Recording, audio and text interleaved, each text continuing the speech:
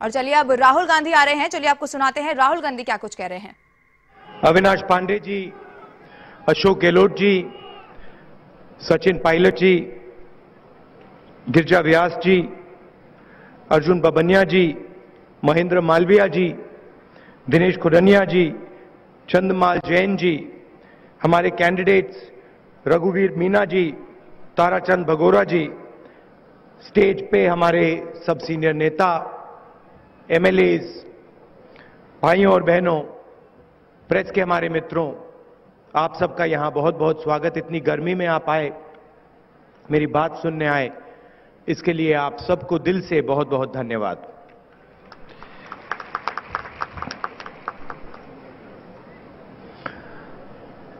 पिछले पाँच सालों से नरेंद्र मोदी जी हिंदुस्तान के प्रधानमंत्री हैं।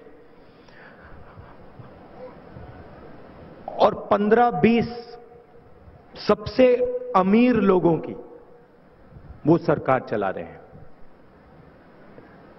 आए थे, आपसे वायदा किया था 15 लाख रुपए हर बैंक अकाउंट में डालूँगा। दो करोड़ युवाओं को हर साल रोज़गार दूँगा, किसान को सही दाम दूँगा। पाँच साल हो गए, एक भी वायदा पूरा नहीं हुआ। उल्टा पंद्रह लोगों का उन्होंने पाँच लाख पचपन हज़ार करोड़ रुपए कर्जा माफ़ किया है। और यहाँ आप जानते हैं, जो पहले आपको मिलता था, मनरेगा मिलता था, वो भी बीजेपी के लोगों ने बंद किया। तो पिछले पाँच सालों उन्होंने आपके साथ, हिंदुस्तान के गरीब लोगों के साथ आदिवासियों के साथ, कमज़ोर लोगों के साथ अन्याय किया है। और अब कांग्रेस पार्टी आपको न्याय देना चाहती है।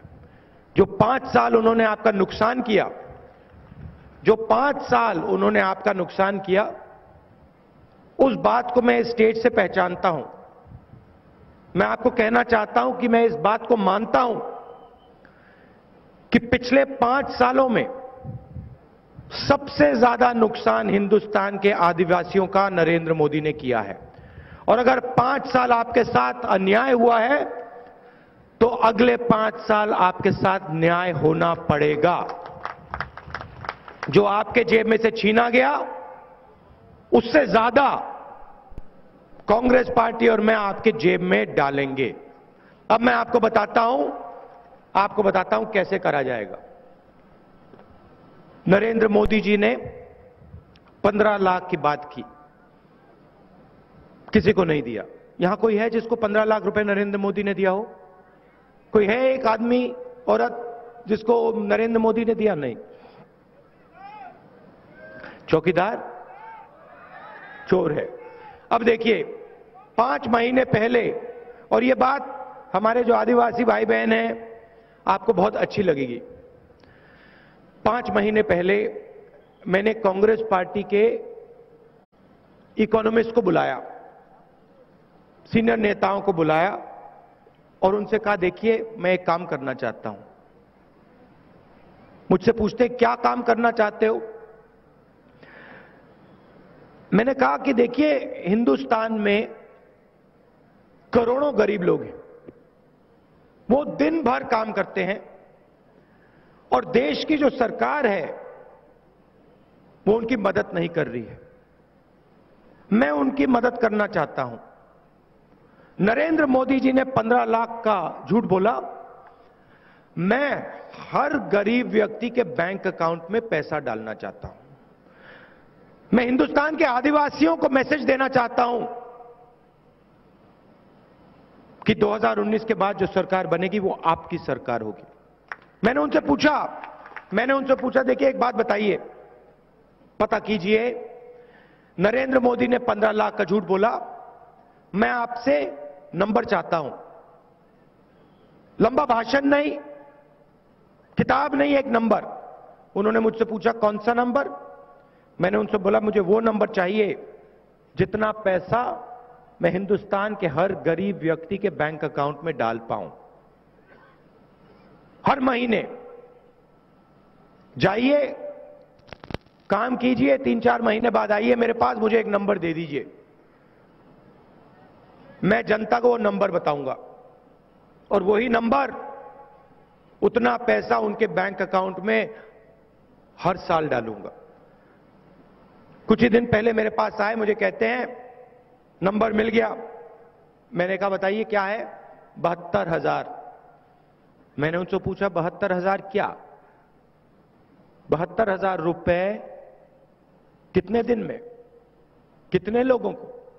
मुझे कहते हैं, राहुल जी, हिंदुस्तान की सरकार साल के बहत्तर हज़ार रुपए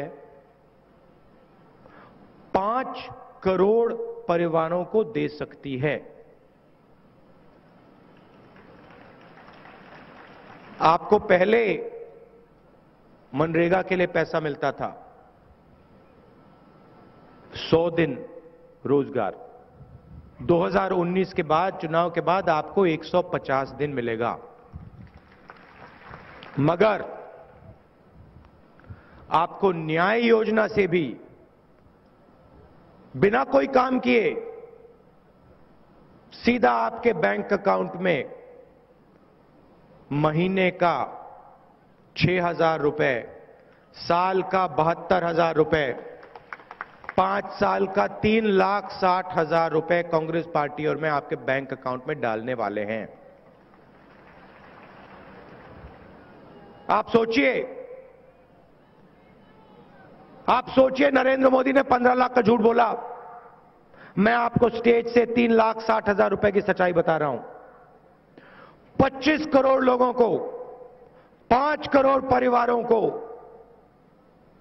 पाँच करोड़ परिवारों को पाँच साल के अंदर तीन लाख साठ हज़ार रुपए गारंटी करके मैं बैंक अकाउंट में डालने वाला हूँ। अच्छा यहाँ बहुत सारे पुरुष आए हैं, महिलाएँ भी आए हैं। मुझसे गुस्सा मत होना। जो पुरुष है, मुझसे गुस्सा मत होना। पैसा महिलाओं के बैंक अकाउंट में जाने वाला है। ऐतिहासिक निर्णय है। किसी भी देश ने, किसी भी देश ने अपने हर गरीब व्यक्ति को बैंक अकाउंट में पैसा कभी नहीं दिया है। पहली बार इतिहास में हिंदुस्तान की सरकार, हिंदुस्तान के सब गरीब लोगों के बैंक अकाउंट में सीधा पैसा डालने जा रही है। क्यों डाल रही है मैं आपको बताऊँगा? क्योंकि नरेंद्र मोदी ने सीधा अनिल अंबानी जैसे चोरों के बैंक अकाउंट में लाखों करोड़ रुपए डाला है। मैं उनके बैंक अकाउंट से, अनिल अंबानी के बैंक अकाउंट से पैसा निकालकर सीधा आपके खाते में डालने जा रहा हूँ। कुछ भी हो जाए, मुझे कोई फ़र्क नहीं पड़ता। आप लोगों ने बहुत सहा है। पिछले पाँच सालों ने, पाँच सालों में आपने नोटबंदी देखी, आपके जेब में से पैसा निकला। गब्बर सिंह टैक्स लागू हुआ, आपके जेब में से पैसा निकला। पूरा का पूरा पैसा नरेंद्र मोदी चौकीदार ने, अनिल अंबानी, मेहुल चौकसी, नीरव मोदी, ललित मोदी, विजय माल्या के जेब में डाले। भाइयों और बहनों, सत्तर साल में पहली बार पंद्रह लोग हिंदुस्तान का एक लाख करोड़ रुपए चोरी करके भाग गए। किसका पैसा था? आपका पैसा था हिंदुस्तान के आदिवासियों का पैसा था, कमज़ोर लोगों का पैसा था, किसानों का, मजदूरों का, छोटे दुकानदारों का पैसा था। उन्होंने पाँच साल अन्याय किया, अब मैं पाँच साल न्याय करने वाला हूँ। नरेंद्र मोदी सर्जिकल स्ट्राइक की बात करते हैं। कांग्रेस पार्टी गरीबी पे सर्जिकल स्ट्राइक करने जा रही है। गरीबी को हिंदुस्तान से हम मिटाने वाले हैं। किसान आए, उनसे भी थोड़ा कहता हूँ।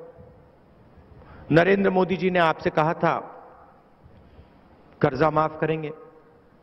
उन्होंने आपसे कहा था सही दाम दिलवाएँगे। उन्होंने कहा था, आपके खेत के पास फ़ूड प्रोसेसिंग फैक्ट्री लगाएँगे। कर दिया काम। मिल गया आपको सही दाम। कर्जा माफ़ किसने किया आपका? कांग्रेस पार्टी ने कर्जा माफ़ किया।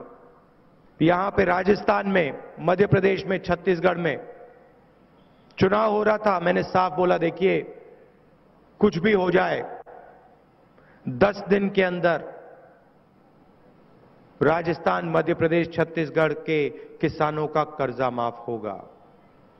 दस दिन नहीं लगे, दो दिन के अंदर तीनों सरकारों ने सारे के सारे किसानों का कर्जा माफ़ करके दिखा दिया। और नरेंद्र मोदी आते हैं, कहते हैं, पैसा कहाँ से आएगा? हमने दिखाया पैसा कहाँ से आएगा? नरेंद्र मोदी सुनना चाहते तो मैं बताता हूँ, अनिल अंबानी की जेब से आएगा। पिछले पाँच सालों से पीएम मोदी सबसे 15 से 20 जो सबसे अमीर लोग हैं, उनकी सरकार चला रहे हैं और साथ ही आपको बता दें कि 15 लाख पर भी घेरते हुए कहा कि हमारी सरकार आते ही बेहतर हज़ार रुपए सालाना हर गरीब को दिए जाएँगे और साथ ही ये भी कहा पुरुषों से कि मुझसे नाराज़ मत होना क्योंकि ये पैसा महिलाओं के खाते में डाला जाएगा।